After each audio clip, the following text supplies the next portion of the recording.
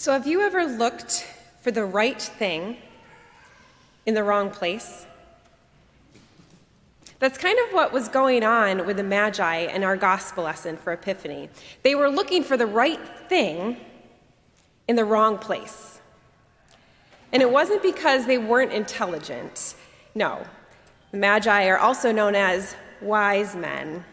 And although they weren't actually all men, they were certainly well educated scholars, and their actions exhibit the kind of true wisdom that manifests as curiosity. The Magi were Persian Zoroastrian priests who practiced a sophisticated religion that heavily influenced Judaism, Christianity, Islam, and Buddhism, among other faiths.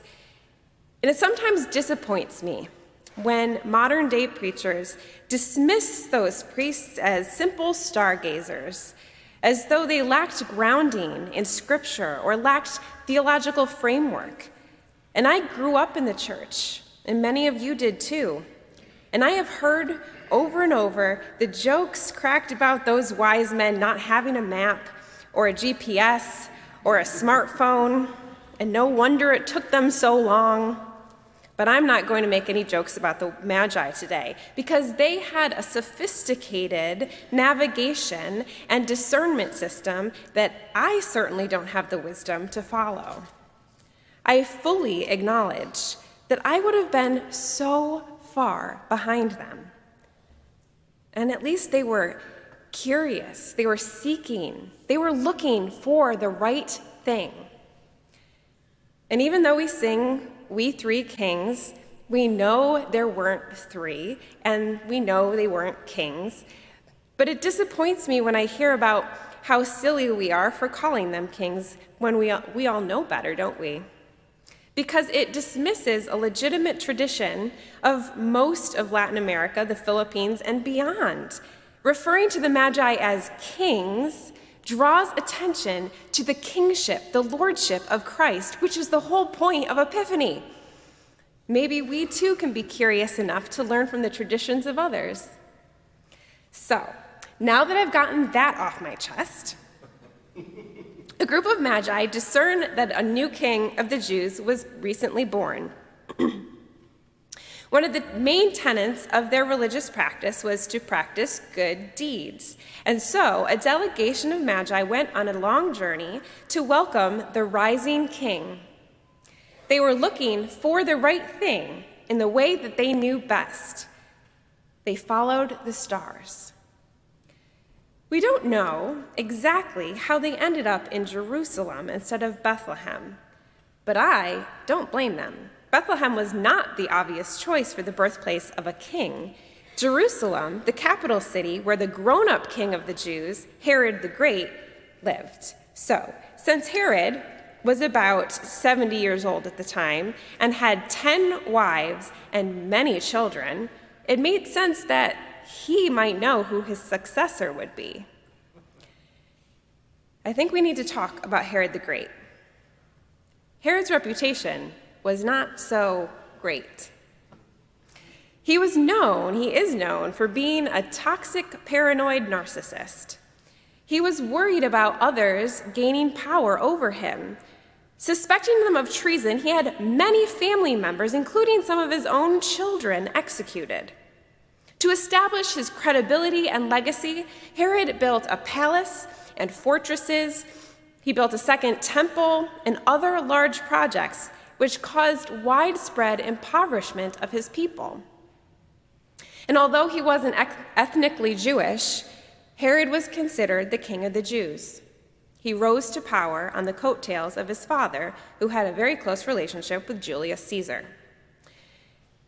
Galilee and Judea, the first century Palestinian territories where Jesus' story is set, were both under Roman occupation so it was the Roman government who appointed Herod the Great as king of the Jews.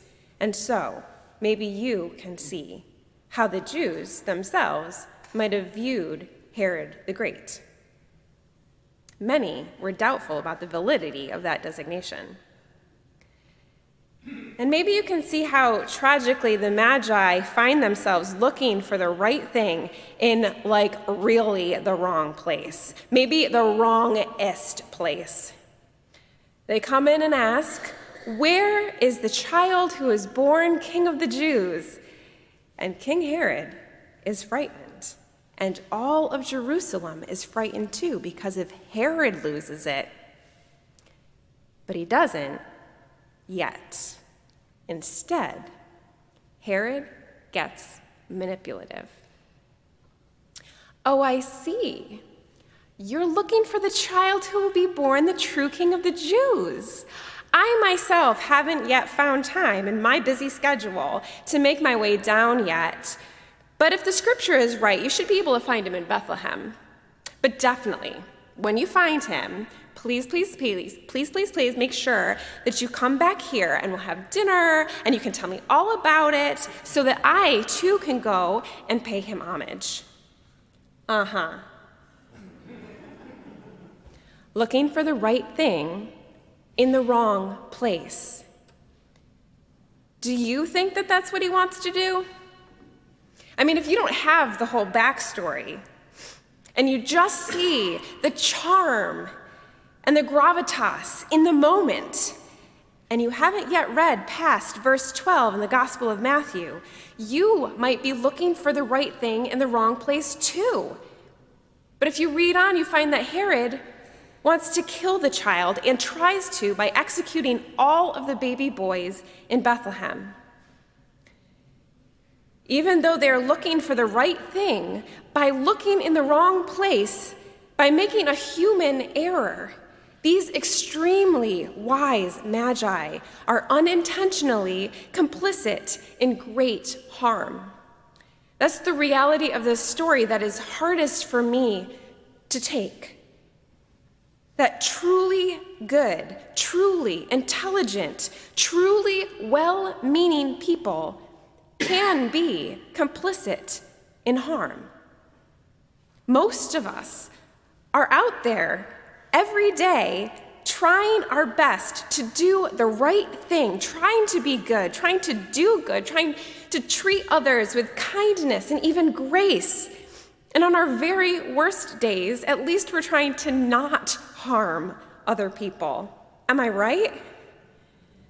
And yet, the world is full of pain and suffering. Where does it all come from? This would be easier to take if Herod was just totally insane and the Magi were totally innocent. It would have been easier to take if Herod was just going to do it anyway, but how would he have been tipped off if no one else seemed to acknowledge Jesus' lordship until Herod the Great was long gone? The Magi are good people who just look for the right thing in the wrong place. They make a huge mistake, and it causes harm that cannot be undone. Has this ever happened to you? Have you ever gone looking for the right thing, but in the wrong place? And has it ever caused harm? The right things that we look for, they're all good things. We're looking for love, for connection, for comfort, for meaning, for security, for hope, for belonging. But we look in the wrong places. We look for belonging in social cliques or clubs or in the world of social media, and we get sucked in into a spiral of ever deepening isolation and feeling even worse about ourselves. We look for hope in the promises of the marketplace, buying into consumerism and capitalism. But one acquisition is never enough, and hope becomes a carrot on a string projected outside of ourselves. We look for security in a self centered way that just breeds anxiety and stress. We look for meaning in our accomplishments and our accolades and a never ending hustle that stretches our spirits so thin that we wonder who we really even are. We look for connection by creating or sustaining drama, communicating our need for connection through poking our loved ones until they react or respond intensely. We look for comfort by hiding inside of our shell, by numbing our fears, our pains, and stresses through food, through television, through sex, drugs, and alcohol. And we look for love, and our hearts get trampled. We are looking for the right things. But when we look in the wrong places, we unintentionally cause harm. And all too often, the harm that we cause doesn't appear to manifest outside of ourselves because it's wreaking havoc within us. We feel isolated, insecure, anxious, afraid. We put too much pressure on ourselves to meet the needs of others while resenting others for not meeting our needs. Instead of feeling like we've found what we're looking for, we feel more lost. It may appear that this inner turmoil exists only within our own soul, but it doesn't work like that. The pain in me pains the people I love.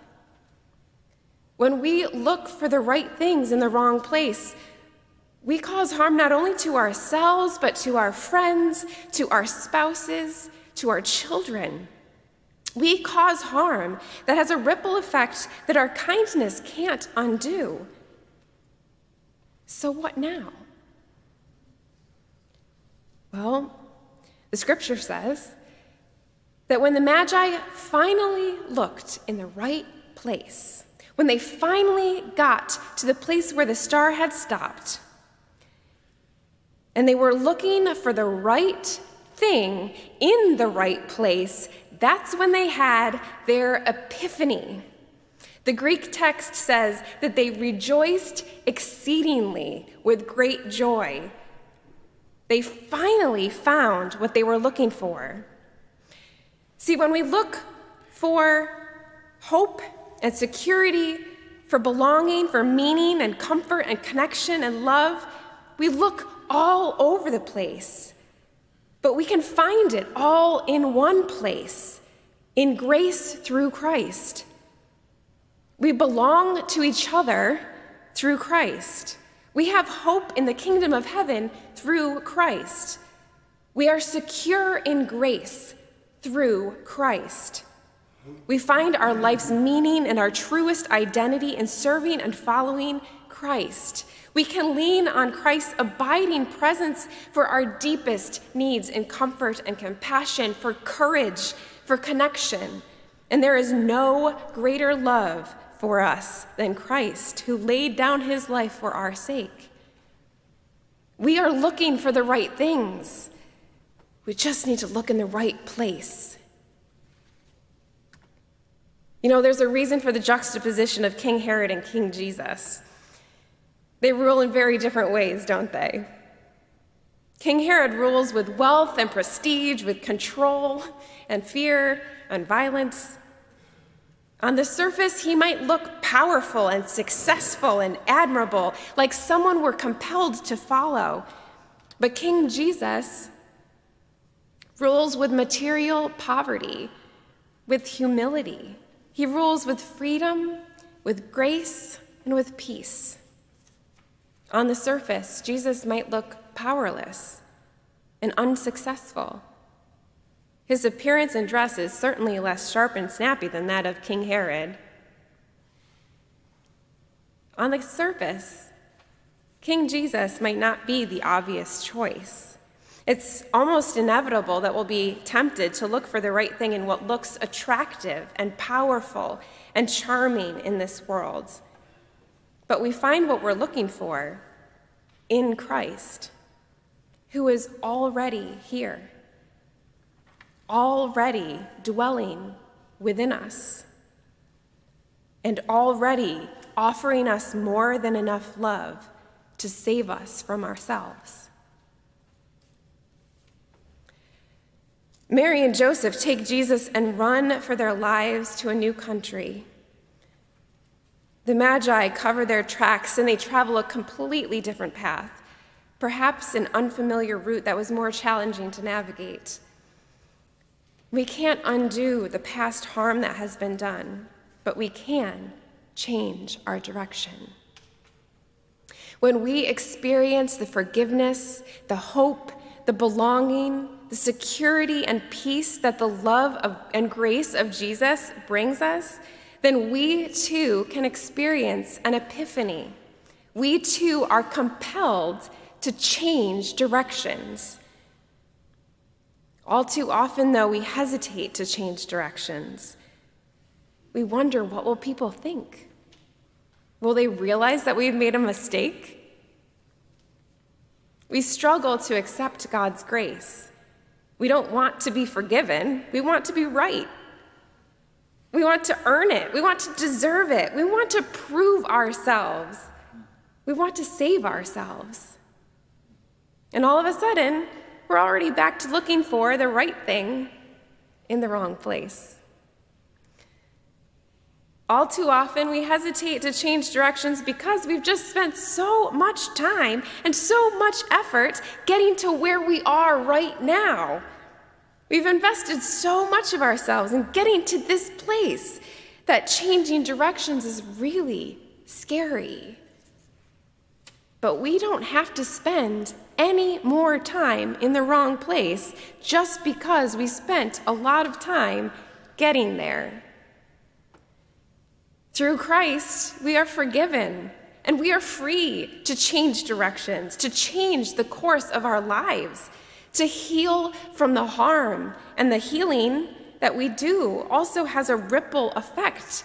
It ripples to our neighbors, to our spouses, to our children. And healing is hard work, but it is the only way the future world can look better than the world does today. The Magi encounter Christ and go home by a different way.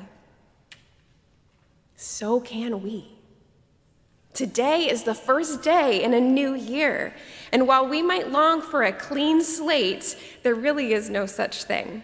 But if we have been looking for the right thing in the wrong place, if we have been heading into harm's way, today is a as good a day as any to set our intentions straight.